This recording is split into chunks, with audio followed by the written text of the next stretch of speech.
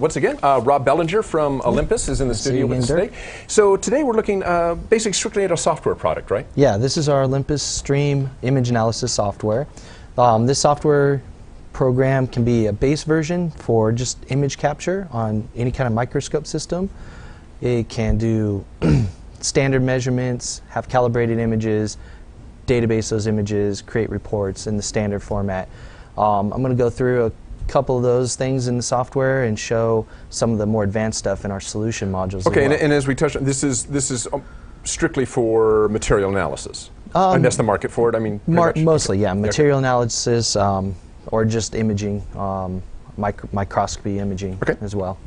So, in the database, um, the software comes with a uh, standard database the database can be at enterprise level across the entire company and manage all different types of uh, microscopes or um, imaging workstations and such. Or it can be just the standard database on the local computer where you manage your images and you can keep track of them and search them very quickly and easily. So the way our software is laid out is in a tab format across the top. You have databases, the start off tab to get your position of where you want to save your images or load images from.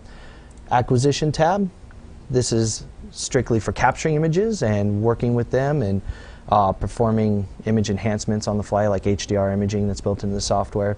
You can simplify the layout very easily with some of the tool windows features like this one here. Just capture a live image, walk someone through taking the picture, performing a measurement, and saving their images out.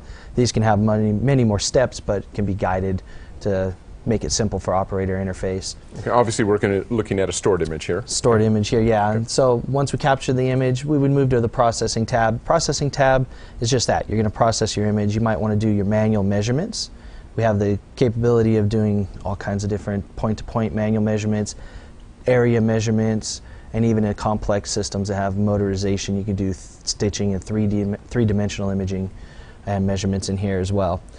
All of these measurements can be exported, saved to the database, put in Excel, put in PowerPoints, all from our software interface. And you can do multiple. You can set up to do multiple measurement, like step through multiple measurements, that, that sort of thing as well. This or? is the manual interface. So this would be okay. as you take the measurements, it records them. Okay. Um, our solution module, we have some more automated measurement capabilities. Okay. I'll cover. Down below here, we do have the ability to modify your image, put text boxes, pointers, and all that kind of stuff. So it's a real good imaging software and suite. it'll help you document it and, and so forth. Document okay. it, put scale bars on it, text boxes, that okay. kind of stuff. As you go through the more advanced features of the software, that's when we look at our solution modules. The solution modules are customized to the software for the customer's needs. They're not going to have every module. It all depends on what the customer is looking at and imaging on, what kind of material and the solution that's going to fit their needs. So some of these include grains intercept and planimetric for looking grains analysis on metal surfaces. We have layer thickness measurements. This is for cross-sectioned layers, and you want to do um, a measurement of the thickness of the layers. It can be multi-layers. Okay. Cast iron and inclusions. This is for more metallurgical such. Um, cast iron, you'd be looking at your graphite size. Um, inclusions is inclusions in steel mostly. So you can count and size inclusions Throwing power is more of our um, um, semiconductor, okay. looking at circuitry and the throwing power measurement off of that.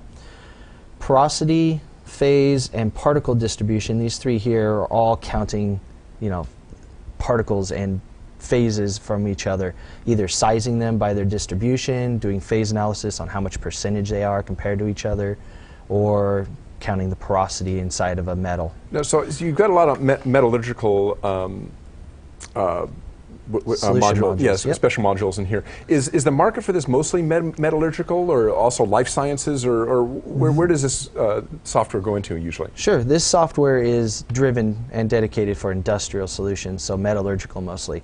Um, Olympus offers an entirely different life science suite of software okay. that has its own different solution modules for that, cells imaging and certain things like that. But this is driven for metallurgical, semiconductor, electrical, um, medical device, kind okay. of parts measurements and all that kind of stuff. And that's what these solution modules are driven towards. Um, I mentioned earlier the automatic measurement. I actually showed this on a previous show. Okay. This has the ability with motorized staging on your microscope to do automatic measurements and step through those measurements and capture them based on like um, um, pattern recognition. Okay.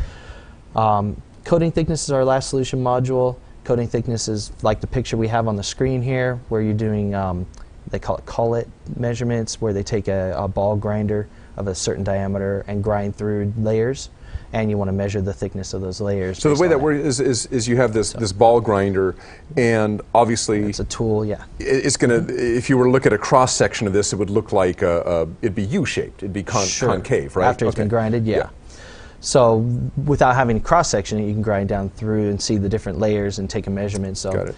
I kind of want to show the solution module and how they are um, interface with them and how easy the solution modules are to use. So I'll go ahead and run through this one, the coating thickness. It is set up to where you have instructions at the top. They're very large button interfaces, and you kind of walk through the steps. It guides a user on how to perform the measurements or how to make the next uh, adjustment to any of the filters. So you can get different image sources. Once you select that, you walk through. You can insert sample information, detailed comments in your solution module. Make the selections of the different uh, types of materials that you're using. Make sure you type in the ball size for this solution Critical module. bit to know. Yep. and when you hit next, you physically come out here and interact and take the measurement. So it's saying measure the diameter of the outer contour. So we can come out and take the three points of measurements of this outer contour.